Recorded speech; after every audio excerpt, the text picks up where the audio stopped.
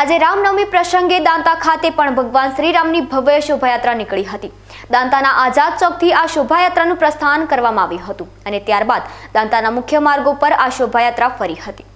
વિશ્વ હિન્દુ પરિષદ દ્વારા યોજાયેલી આ શોભાયાત્રામાં મોટી સંખ્યામાં ભક્તો પણ જોડાયા હતા અને ભગવાન રામલલ્લાના દર્શન કરીને ધન્યતા અનુભવી હતી. દાંતા ખાતે નીકળેલી શોભાયાત્રા દરમિયાન ભક્તિમય માહોલ જામેલો જોવા મળ્યો હતો.